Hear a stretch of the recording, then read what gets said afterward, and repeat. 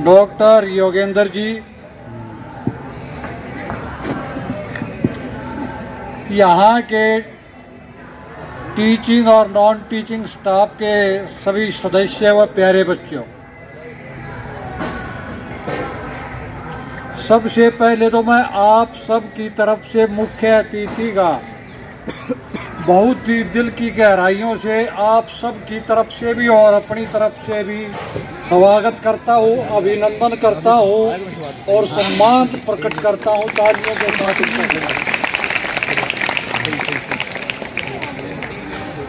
इनका जीवन परिचय भी बताया भाई और जीवन परिचय से पहले भी आमने सामने मुलाकात आज है।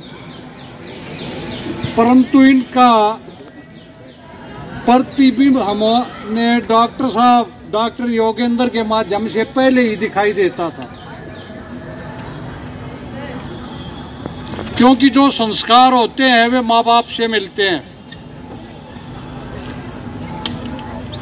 डॉक्टर हरिश्चंद्र जी, क्योंकि ये सारा परिवार डॉक्टर है भाई।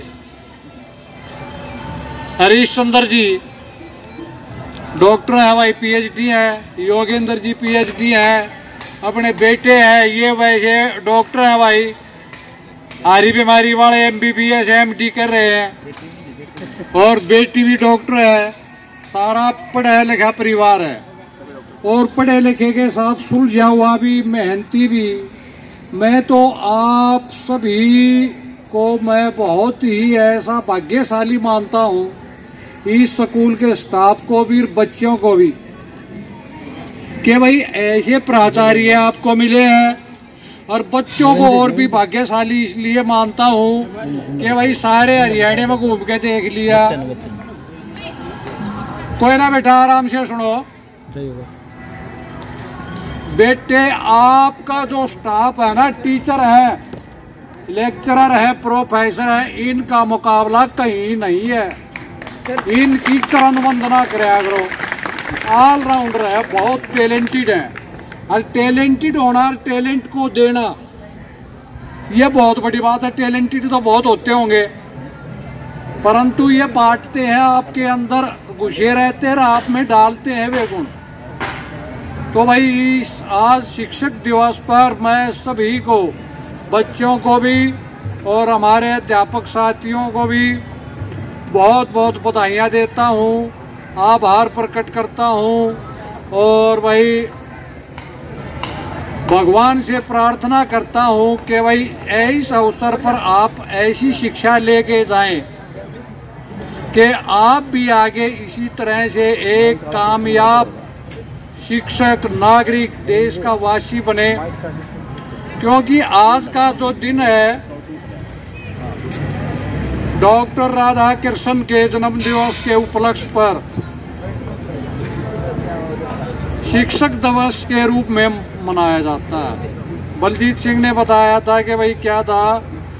डॉक्टर राधा कृष्ण जी सेकंड उन्नीस में राष्ट्रपति बने थे और उनके जो स्टूडेंट थे, उन्होंने उनके जन्म दिवस पर सेलिब्रेट करने के लिए आए। तो डॉक्टर साहब ने यही कहा था कि भाई, मेरा जन्मदिन मेरे लिए नहीं, क्यों? एक शिक्षक दिवस के रूप में मनाया जाए।